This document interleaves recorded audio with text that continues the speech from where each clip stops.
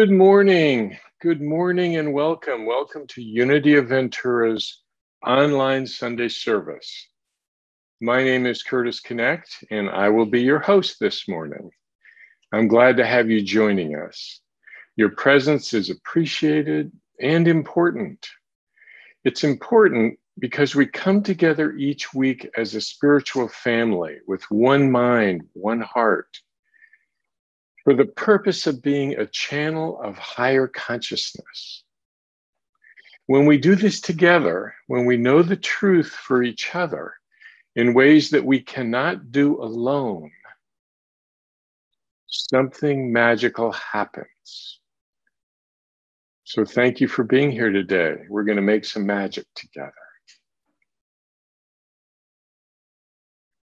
Let's remember who we are for a moment now. We are Unity of Ventura, a radiating center of spiritual well being, famous for our inspiring music, our uplifting sermons, and our loving fellowship. We practice and promote the principles of unity as expressed through the teachings of Myrtle and Charles Fillmore, our co founders. And as such, we welcome people of all faiths, all lifestyles, all backgrounds, all philosophies.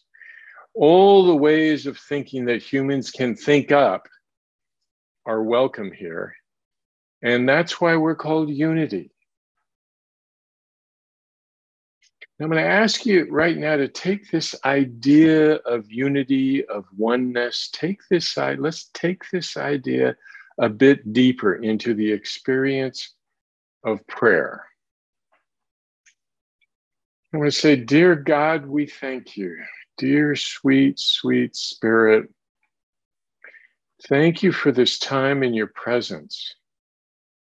As we join with our spiritual family in a celebration of love and peace.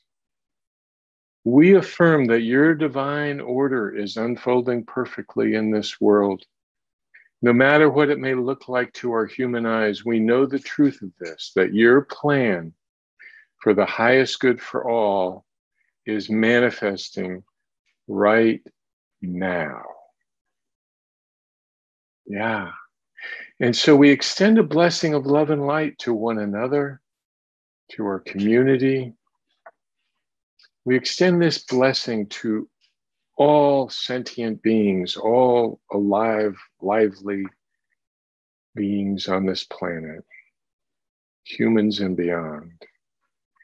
And united in this consciousness, we envision that each and every person in this world is aligning with your plan. Oh, sweet spirit, everyone is open and receptive to allowing your love, your plan to ex- express itself perfectly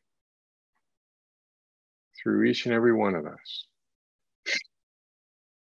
And from this place of love and oneness, we give thanks. We say, Thank you for today's lesson that calls forth our spiritual growth, for the music that uplifts our souls, and for the wonderful spiritual family that we are at Unity of Ventura. For this, for all our blessings, by golly, by gosh, we give great thanks. And so it is. Amen. We continue now with the daily word, remembering that we join with millions of readers all over the world when we read this word. Today I've chosen the word from June 4th, 2021, just a little while ago. The word is prosperity. Prosperity. The richness of life surrounds me. That's the affirmation. The richness of life surrounds me.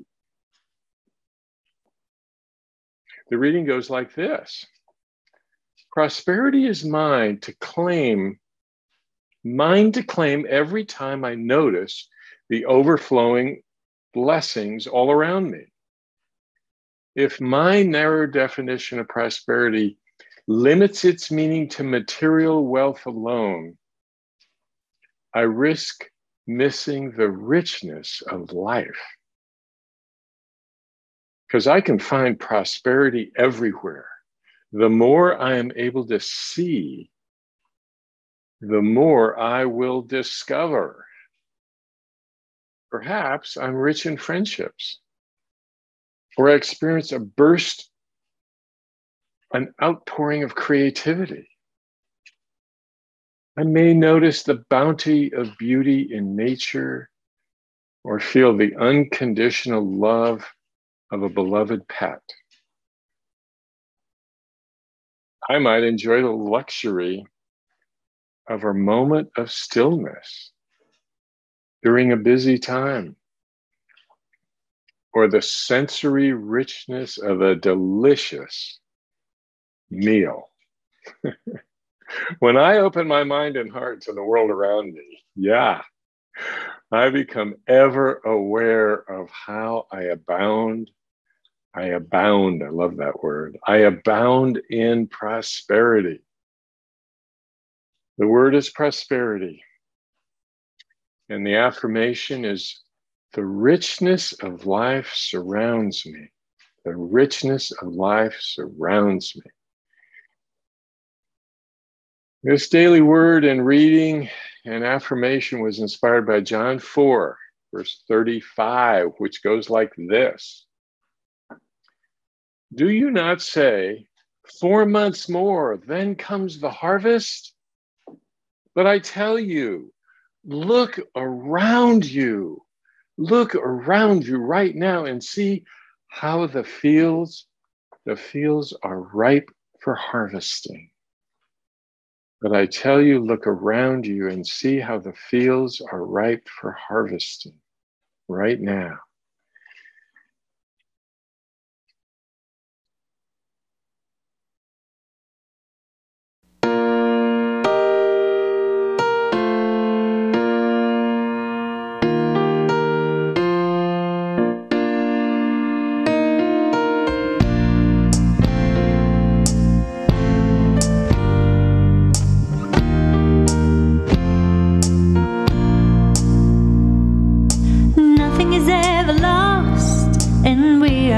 forgotten. We are living in the heart of God.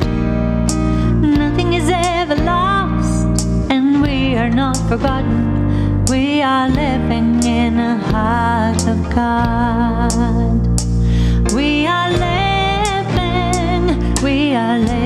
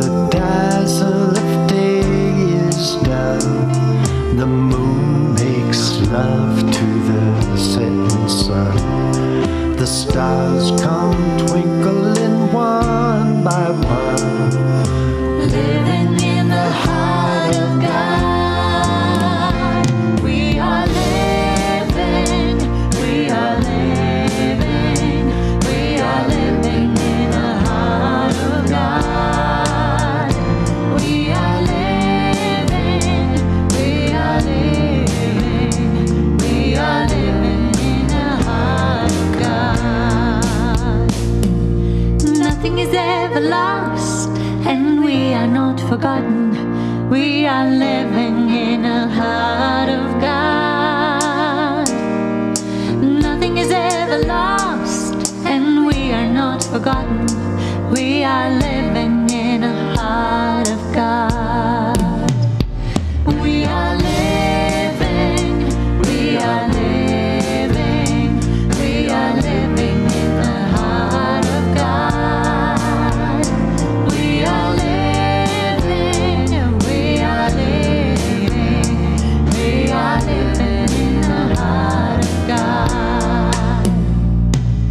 Sleeping dreams, both deep and bright, sailing through the velvet night, refreshing.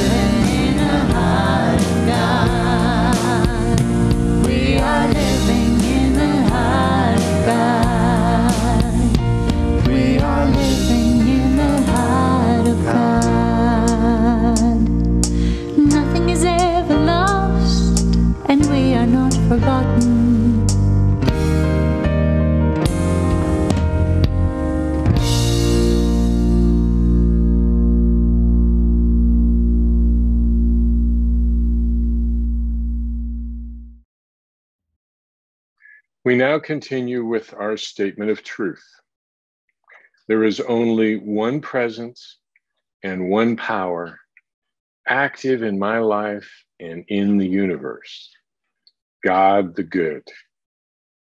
Let's really take that in. Say it to yourself as I say it again. There is only one presence and one power active in my life and in the universe God the Good.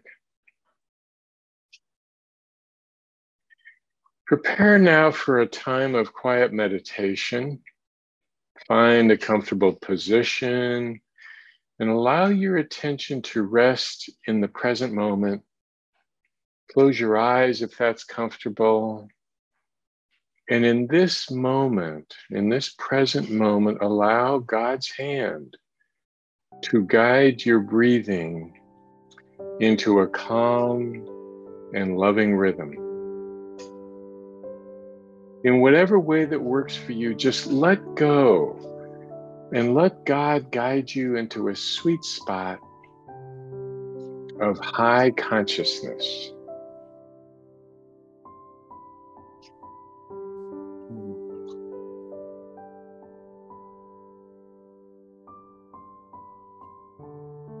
And as you inhabit this spot, this place of high consciousness, bring your attention to the abundance in the universe.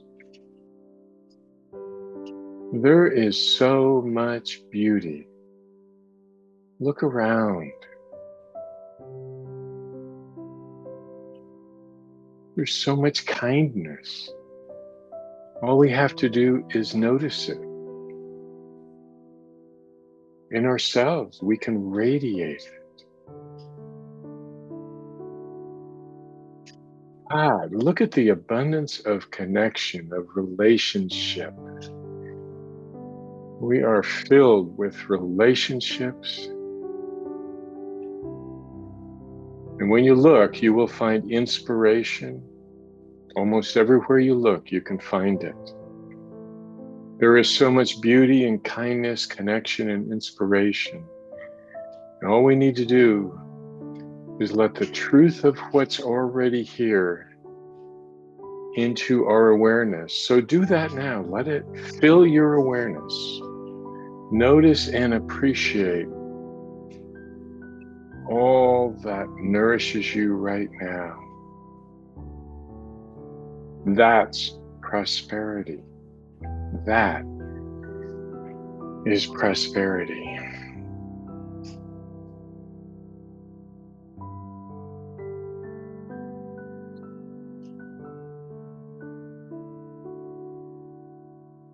So breathe in and see if you can feel and allow prosperity to enter into your very being. Not only your cells, but your spirit. Not only your thoughts, but your very essence. Let that prosperity fill you right now.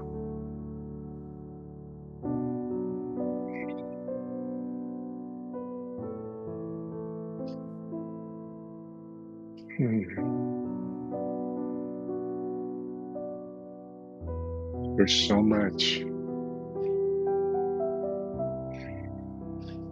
Hmm. And as we bring this awareness of the nourishing arms of spirit, we bring this consciousness back into our virtual sanctuary here. We say, Thank you, God. Thank you for all that we have. We appreciate it. We accept this gift and we are grateful. And so it is. And so we let it be. Amen. Amen. And now, now it is my great pleasure and honor to introduce our guest speaker for today. This morning, the Reverend Kat Knecht, who is a longtime member of Unity of Ventura, will bring to us lesson number two in summer school, class number two of three um, yeah, you guessed it prosperity. She will bring us her wisdom and delight and humor, and you're going to love this one. So, buckle up, get ready. Today, she is going to wow us with a message on prosperity. Welcome, Kat Knecht.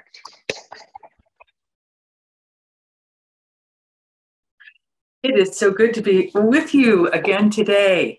And this is part two. We have a three part series, our prosperity school this summer. And I'm also wanting to let you know I'm going to be at the salon today. So if you're taking part in Prosperity School, or if you get enrolled during this sermon and you have questions, you kind of want to share what's happening for you, I'm going to be in the salon. I look forward to talking to some of you. So I invited you in June to take on a summer project. So here's the recap of Prosperity School. Choose something you want to create, something, a result you want, an experience that brings you joy. Choose spiritual practice that you're going to practices you'll do every day and then notice what happens. That's it. It's simple. Some suggestions I've had to stay in that prosperity zone, take on practices like prayer or affirmations. One of my personal favorites, one that I love to take on is reading some books, some prosperity books. I have a couple with me right here today. Anybody wants to borrow this one? It's a great one. But I got a message from a woman who's taking part in the summer school, and she told me she was reading a book and it was called, I'm going to read it, Prosperity 10 Commandments. I tell you, I was intrigued. I'm like, I had never heard of this book. I did some research and I found out it was written by a woman named George, Georgina. Let's see if I can say that. Georgina Tree West. And she lived from 1882 to 1974. And at one time, she was the minister and she helped to prosper one of the largest unity churches, which was in New York City.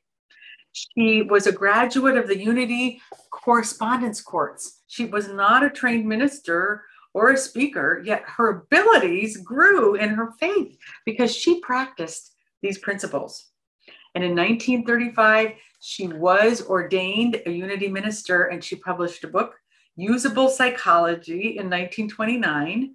And then in 1946, this book that she's best known for, Prosperity 10 Commandments, Prosperity's 10 Commandments. It was published by Unity Books, which is where I got it, but it's also available on Amazon. So that's the book I'm going to be looking, I'm going to kind of be using today to guide us through and um, guide us through part two of this lesson. All right, are you ready to go? Okay. So, what struck me about these 10 commandments was how they focused on what not to do. I don't know if I'd ever noticed that before about the Ten Commandments. The, the, the, actual ones, you know, the Moses ones, like they're very kind of harsh and they're like, do not do this, you shall not do it. And I'm such a big fan of focusing on the positive, but I know it's essential to be aware of those negative habits that we have, thought habits, behaviors, they're often unconscious. So I thought, well, I actually think it's a good idea. Let's take a look at some things not to do. and when I first read through these, I felt there was something, not just in each one, but there was a magic in the whole. There was something about the symmetry that I felt like, ooh, when you look at this all together, you I could really see these are a block. This is definitely a block to your prosperity, to my prosperity. So I'm going to read all 10 to you. I'm going to focus on three, the three that kind of hit my happy spot today, but I'm going to read all 10. Remember, this was written in 1946, so the language is a little wonky. Well, that's not, the language is a little 1946 ish. Um, yeah, so just kind of take these all in as a whole. Ye shall look to no other source but God for your supply. Ye shall make no mental images of lack. Ye shall not speak the word of lack or limitation. Ye shall let go and let God do it. Ye shall deal honorably with God and with all human instruments through whom God's good is manifested for you. You shall not take your wealth out of circulation. You shall not abase your wealth to idle or evil uses. You shall not seek something for nothing.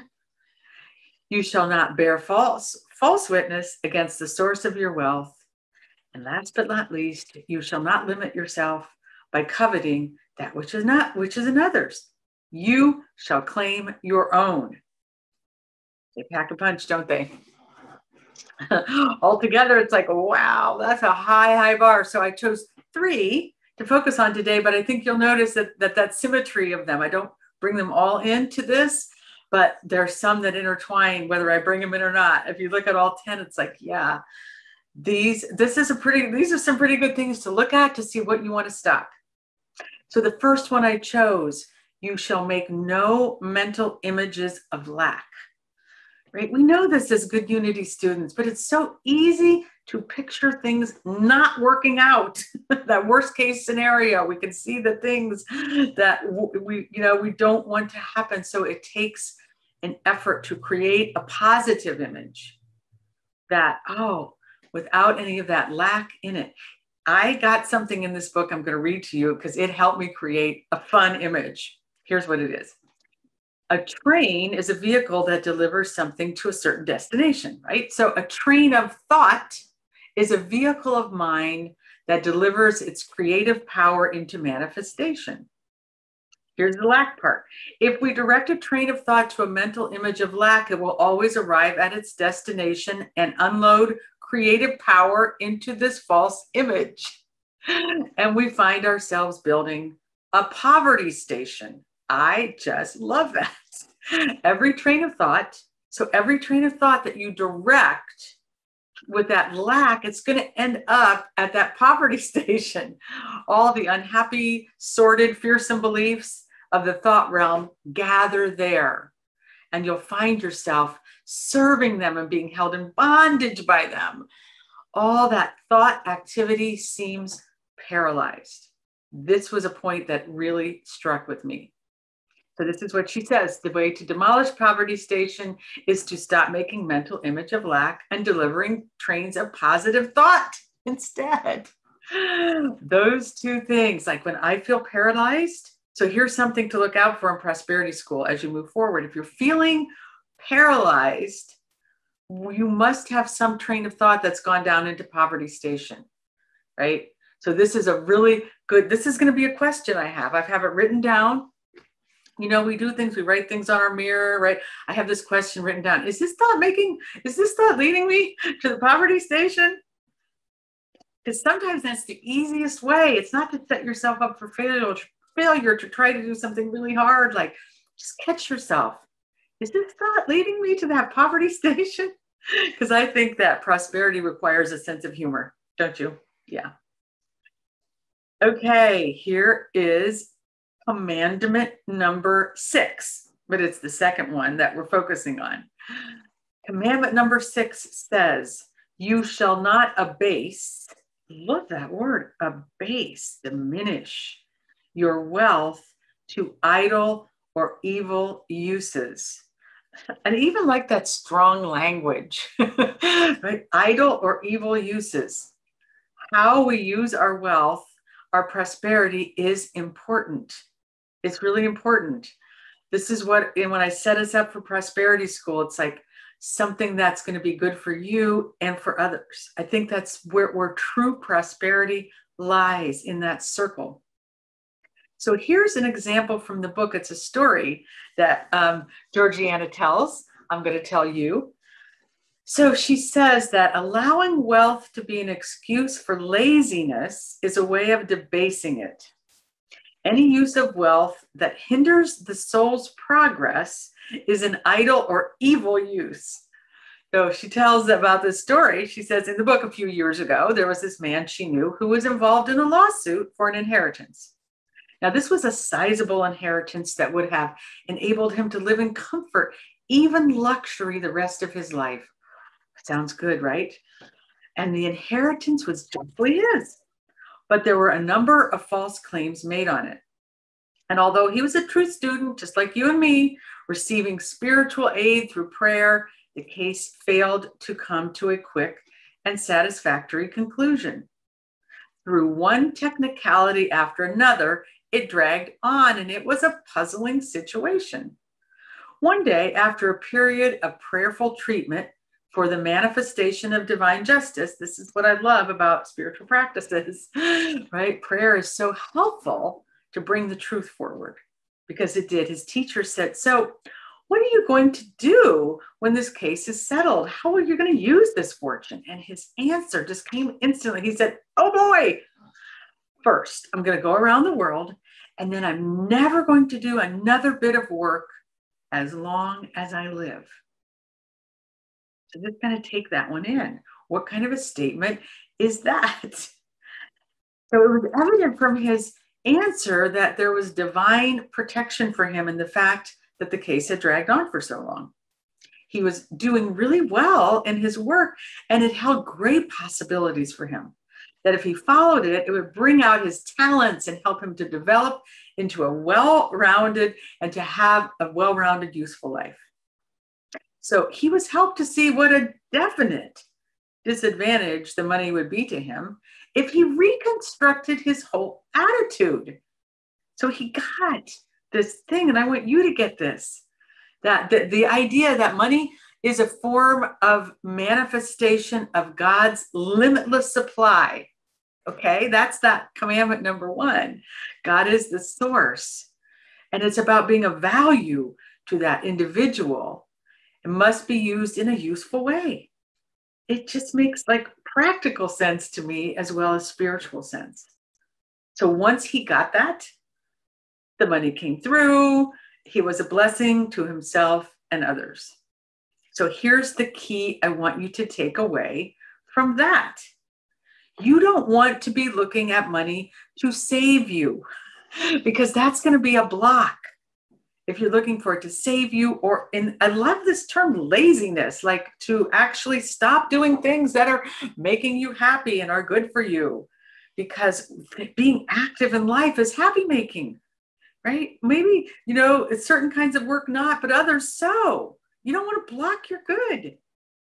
So if something is not happening in your pursuit of prosperity, it may be because it's not in your higher good. And that's where that other commandment comes in. I'm looking here to see which one it is. Oh, it's number four. Let go and let God. That's the, um, I'm, I'm kind of keeping track here on paper because I don't have them all memorized. Okay back on track. Did you get that one? I think that's really, really important. So we don't want to have our train of thought going to poverty station, and we want to pursue that which is good for us. That's the prosperity. And if something's not happening, it might not be for our higher good, just let it go, right? Let it go. This next one is my favorite it struck me when I first read it. I read it again. I went and looked and did some looking in the book about it. It's it's commandment number 8 and it says, "You shall not seek something for nothing." You shall not seek something for nothing. I want you to think about that a minute. Have you ever had a thought, I want to get something for nothing? I sure have. I think it's kind of in our culture. Maybe it's a part of human nature, that lazy part of us. We're like, yeah, that sounds good. But think about it for a moment. If you think you need to get something for nothing, that means you think you have nothing to give. You have nothing to offer. that's the part, that's the part where the real negative block lack comes in. If you think, oh, I want to get something for nothing, then you're not thinking about what you have you're not open to receive your good from the God source. I want to get something from God working through me. I want to get something from my very best coming forward. It can look like something for nothing. I don't think there's anything wrong with winning the lottery, but I think that if that's the only thing you think is going to work for you, then you're not really trusting, right? You're not trusting you have something, that you have everything you need for prosperity to happen. So, what came to my mind when I first read this was like Ponzi schemes, pyramid schemes, where somebody always loses. They're set up for people to fail. So they can't possibly be in the in the prosperity you know it can't be a prosperity principle or way that we think or act if we're setting we're actually taking part in something we know somebody's going to fail it might be us I also have experienced this one. Like I said, I know this one. I have mixed up manifesting my own good with wanting to get something for nothing. How many of you might think that might be something you've done? It really hurts to, to look at it, but it's so helpful. Here's, I'm going to tell you, it's two different tales, like the good side and the bad side of this, where I that I didn't listen to the commandment and then I really got it. So this was years ago uh, when Curtis and I first moved to Ventura. I had this project for my business, and we were renting this cute little house up on Poli, and it had a guest cottage. And at the guest cottage, I had clients because my work is as a business coach as well as a, a, a minister. And I, I invited people to come to this cottage and I would help them get a vision and a plan for their business. And at the same time, they get to relax, have some downtime. It was perfect. I loved it. But I got this thought that I didn't have enough to keep going with it. I thought, so the house was up for sale and I thought I had to buy it in order to keep this business going. And I had, I, I didn't see it at the time but I now do. And so I'm there was I wanted to get something for nothing. I wasn't trusting in God's source. I'm like, please let there be a way. This works for me. And sure enough, money did come through. I got a nice chunk of money from my mother-in-law. And there were no strings to this money. This is the something for nothing part. But I got, I learned that when there, when you get something for nothing, there's that, there are invisible strings. So I the first thing that happened was the landlord jacked up the price of the house when she found out we wanted to buy it, like way more than it was worth. Then some things happened, and I started feeling this real obligation towards my mother in law. And I ended up buying a house that was beyond my means so that she could live with us. And then that deal fell through, and the whole business project fell through. And I was not trusting God as a supplier of my good, my mother-in-law. like I say that in jest, looking back, because I see, oh my gosh, I just totally let go of my spiritual principles and went with that lack thinking that I needed something that I didn't have all that I needed. So a few years later, I put this, I used this commandment to good. I trusted and I, I, got the instinct that I needed uh, to buy a house. It was time. God was guiding me there. I trusted it would all work out. I didn't know if I had enough down payment. I didn't know if I made enough money to buy the house I really wanted. I didn't know how this was all going to work out. I trusted. I got into action from trust. I did my due diligence in the real world as well as in my spiritual work, and I ended up with a house I love. I held that positive image. I did not go down to the poverty station. It wasn't it wasn't like every single second, but I kept coming back to that because I had this, I, I, I got, oh, that's the path. And here's what I want you to take from my lesson. Spirit always offers us a second, third, hundredth chance to grow and prosper. If you too have made mistakes on your path to prosperity, no big deal. Uh, uh, give that to God. What is that? That's um, it says commandment number four: you shall let go and let God do it. Let God take that one on. Made mistakes, didn't work out, and just re hit the reset button. And I'm and I'm going to tell you another just another little things thing about this because I know that when we really put our focus on these prosperity, I'm going to call them principles. Today we're looking at commandments. They work, they absolutely work. I'm going to throw one more in here before I sum it all up for you and bring this home. I did say three, but I just loved this one. And this is number nine. Is it number nine? No, it's number 10. This is the 10th commandment. This is the one about coveting. How many of you have ever coveted something that another person had? Perhaps it's it's piece of jewelry. I do it all the time because I love my jewelry. Right? Sometimes I get jealous of other coaches who are in business and they seem like they're doing better than me or somebody who has a thing. So I know this one well, but this commandment says to me, really it says it says this is the actual commandment. You shall not limit yourself by coveting that which is another's you shall claim your own. That's the block. If you're looking at somebody else's and thinking i want that. I should have some doesn't mean you can't look at somebody else that has and go ooh i think i'd like to create my own version of that. I'd like to claim what's mine in this territory. I like the earrings that are the best for me to land on my ears. That's the like it's just it might seem like a little tweak, but it's totally this is what I get about these commandments. I hope you're getting this too. It's like the complete the complete opposite. When you take here's what not to do. I'm not going to covet another person's anything. I might look to it and think, let's see what I can do with that. Claim your own. This is something in the book. I just want to I want to bring this forward because I loved how she put this. Covet covetousness is desire misinterpreted. Desire is a potent factor in the creative process. That's what we're doing here in summer school. It's the initial step. That's where we're, we're that's we, we, we we're, we're going there was here's what I want. But you can never truly desire anything that does not exist for you. You may wish for an absurd or impossible things. We wish for things all the time, but we cannot desire them, for desire is insistent yearning. It's that yearning from the heart.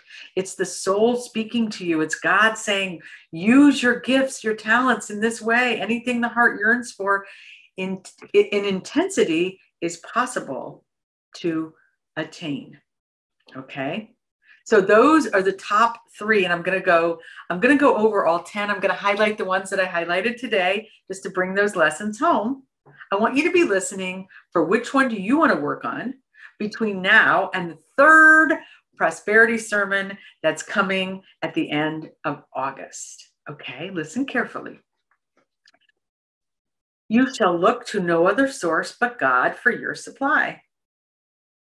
You shall make no mental images of lack.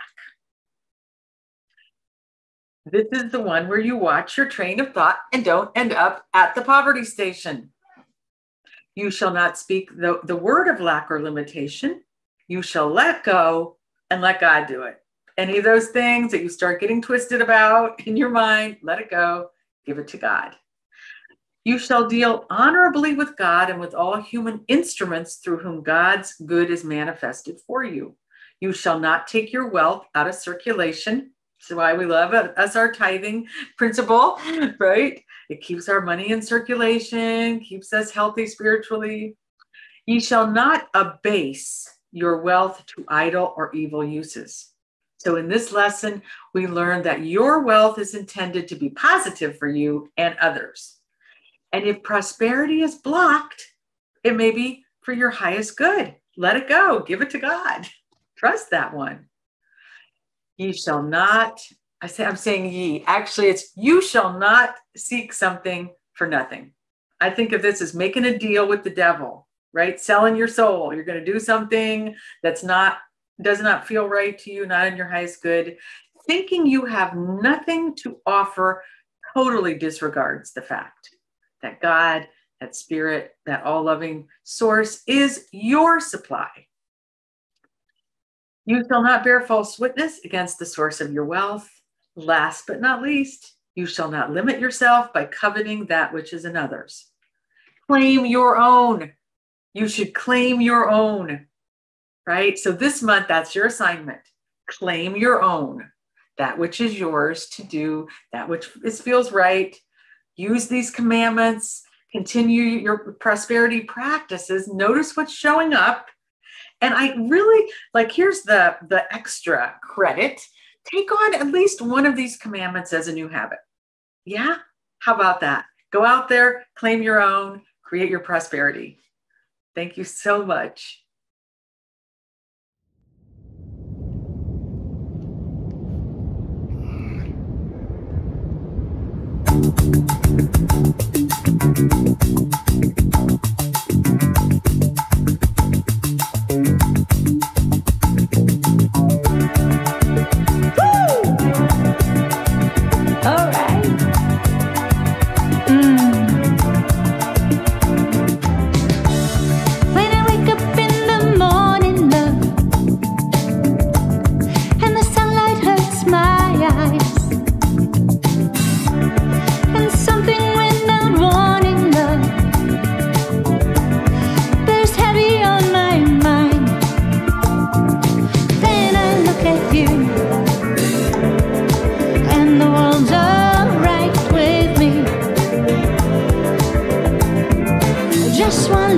you.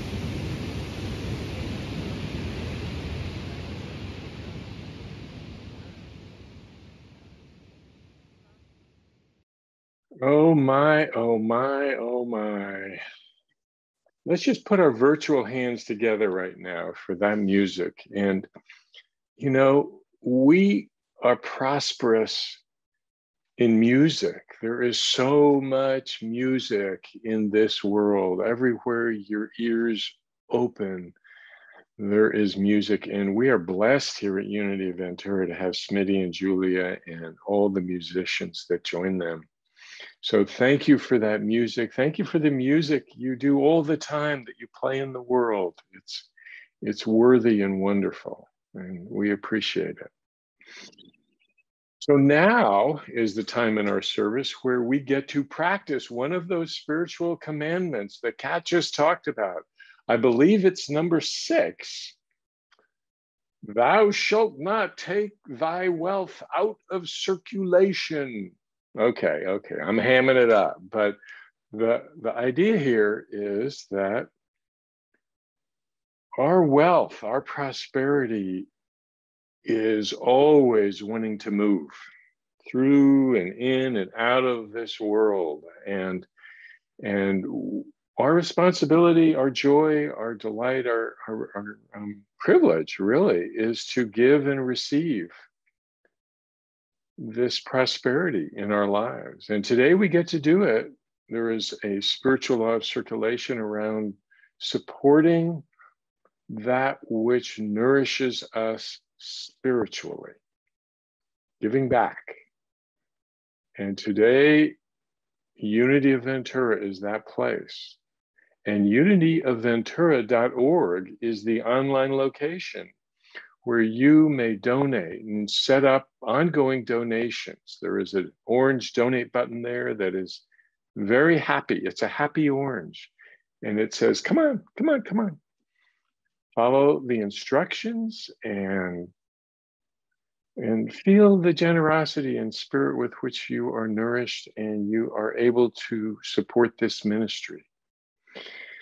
And there's other ways to do it, lots of ways to give to this um, church. So find the way that works for you of your time, talent, and treasure and give it your all. Keep your wealth in circulation. It's a beautiful thing. And however you give, know that you are blessed and we are grateful. Another way is Amazon Smile. If you use Amazon, check out Amazon Smile and find Unity of Ventura there and go and a little tiny piece of everything you purchase on Amazon can can, can, um, can go to that which nourishes you spiritually. So, right now, let's bless our offerings, whether they're physically in your hand right now, unlikely, or in your heart, in your spirit, in your thoughts. So, let's hold what we give in our thoughts, in our hand, in our hearts, while I say this blessing. Divine love through me blesses and multiplies all that I have. Say this to yourself Divine love through me blesses and multiplies all that I have. Divine love through me blesses and multiplies all that I give to yourself. Divine love through me blesses and multiplies all that I give. And divine love through me blesses and multiplies all that I receive. Say this to yourself divine love through me blesses and multiplies all that I receive. And we say, Dear God, thank you for the gifts. Thank you for the gifts that are being offered today and every day. The gifts to that which nourishes us spiritually, knowing that they will be used to further the work of God through this ministry. And we bless each giver. Blessings to each giver, knowing that they have given to us from a place of loving kindness and faith and delight. We affirm that each giver is being richly blessed in magnificent and wondrous ways for their sharing of their prosperity. That's how circulation works, and we are grateful. And as we begin to close our service today, we extend great thanks to the Reverend Kat Knecht for her lesson, for the prosperity it calls us to embrace, to the unity band and choir for the high plane of existence that we are inspired to occupy when they play their music. And to our video wizard, thank you, Smitty West, for all your behind the scenes technical work that makes this Zoom service possible.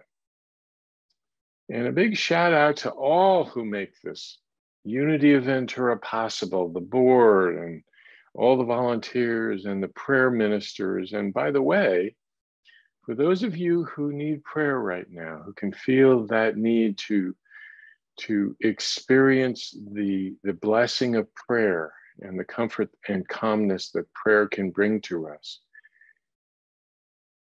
find the prayer team, unityofventura.org. There's a prayer team button there and follow what's there, follow your heart, put your prayer into the universe so that it may be answered, so that it may be part of the, the prayer body energy of the universe. This team will hold your prayers in a beautiful way. And I want to thank each of you for being here today, for being with us in mind and heart today. And those of you watching this as a recording, thank you for being part of this energy field we create. There wouldn't be unity of without you. Thank you, God. Thank you, God, for these, for all of our blessings. And so it is. Amen.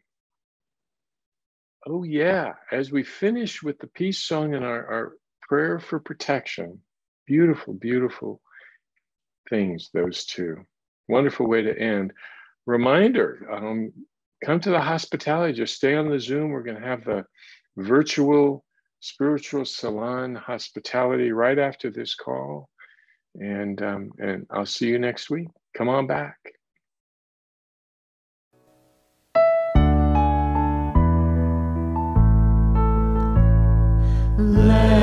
Let there be peace on earth and let it begin